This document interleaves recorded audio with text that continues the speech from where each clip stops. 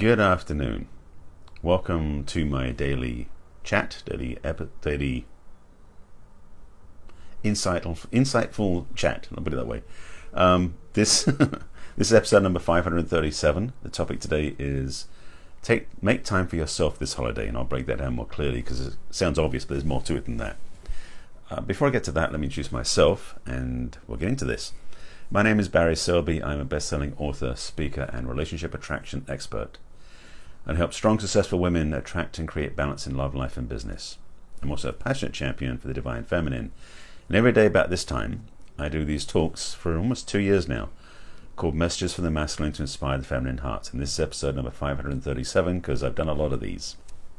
And again, the topic today is make time for yourself this holiday, or make time for you this holiday. And I'm saying that from the point of view that we forget. Both, all of us do. Um, now, again, this is America centric because it's about Thanksgiving, which is this week. If you're elsewhere in the world, this may not make sense to you, but take it to heart for Christmas or Kwanzaa, whatever holiday you celebrate this time of year. We may get caught up in the fray and the hecticness of the event. Sometimes we forget to put ourselves first. And I'm going to put out some things I've talked about many times before, but I want to put them in this context because this is one of those times where we tend to forget. And yet, this is one of the times I think it's most important that we don't forget because it's really challenging being on holiday, especially if you are someone, as I mentioned yesterday's broadcast, about going home for the holidays and seeing family members we have charge or issue or challenges with. It's sometimes hard to take care of yourself and stay centered when all the chaos is happening. When there's the grandparents and the grandkids and the neighbors and the relatives and the uncles and the aunts, etc., etc., it can get pretty pretty hectic around there and pretty and pretty challenging too. So, I want to put forward a couple of ideas and suggestions. I may throw in a couple of my offers at the back end just so you know what's coming. No promises. Um, and also about where you can find the other broadcasts. Because, by the way, this is Facebook Live first. The thing gets put onto my business page and then onto YouTube and then onto my podcast. And I'll give you those links at the back end. So, in case you're watching this on YouTube, it was on Facebook Live first, where people may be interacting with me and then I'll be responding. So, I'll do my best to repeat any questions put out and then respond to them so you'll know what that was about when I say it here. I think that makes sense. All right. So this is now Tuesday, two days away from Thanksgiving, which is this coming Thursday for those of us living in the United States. I know Canada had theirs last month, and where I come from, there isn't Thanksgiving, so I understand the different variations. But Thanksgiving, in particular in the United States, is an extremely um, evocative time for people who have family issues going on. to put it simply, because many, many people hate going home for Thanksgiving because of all the stuff that comes up. And I talked about this yesterday in more detail about the challenges you face when you go home when you're single, when you're supposed to be in a relationship, when you're in a relationship you don't have kids, all these things that your parents and the adults around, the other adults around you, are um, presenting you with their opinions and judgments about your own experience.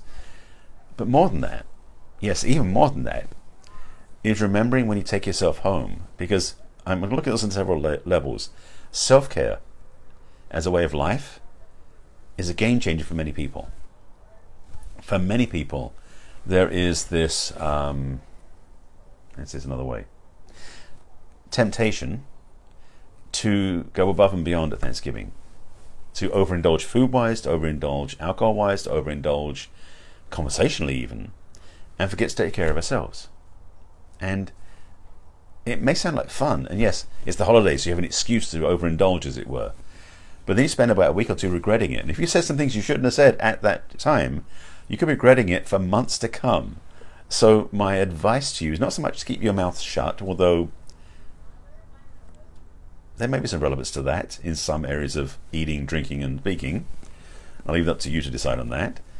However, there's definitely a distinct, I believe, opportunity to be really self centric, not self centered in the sense of ego, but self centric where you put yourself first in your journey and you're visiting your home, your experience of being at home for Thanksgiving.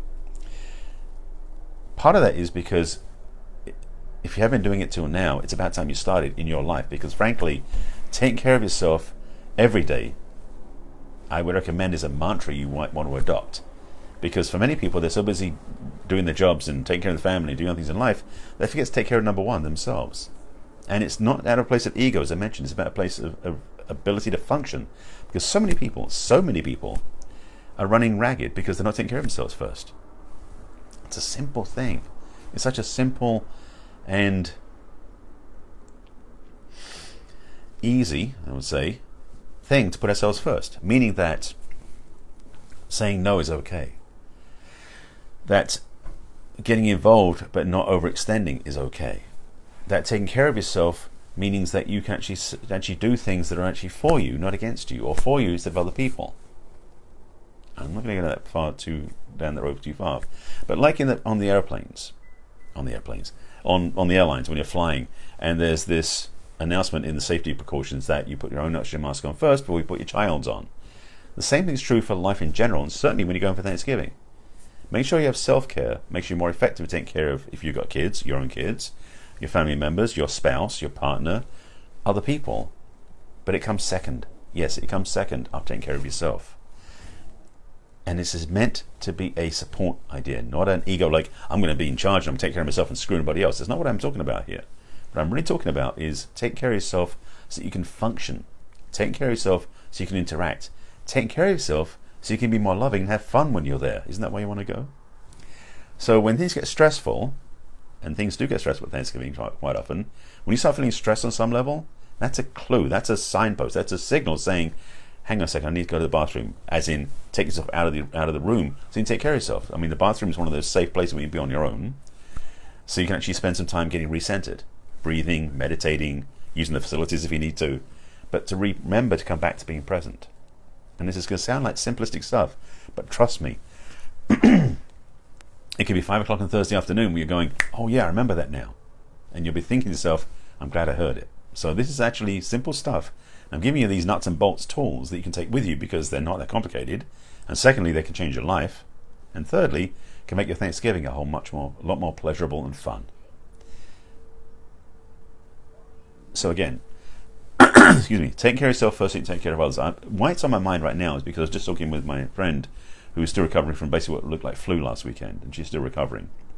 And a lot of my friends I'm talking to are dealing with actually right now in Los Angeles because we're getting winds blowing the smoke down this way now again, but not the smoke from the fire locally, but from the, from the fire from the Camp Fire up north.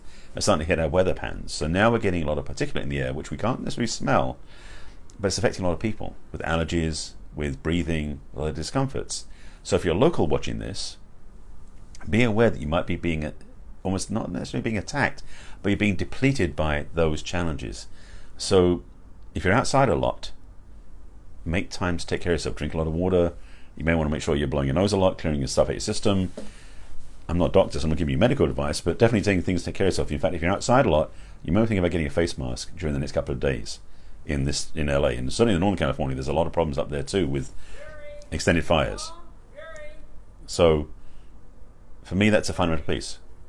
You know? Um, sorry, somebody yelling outside. All right. I'm actually going to sign off and get to do other things. I'm going to go out tonight because I'm doing my Facebook Live tonight with with uh, Gina. That'll be at six uh, seven p.m. tonight. So join me then. Thank you for watching. Take care of yourself. Um, I'll put links in the comments for my programs and also how to find me. Take care of yourself. I'll see you again tomorrow. I've got to rush. Bye.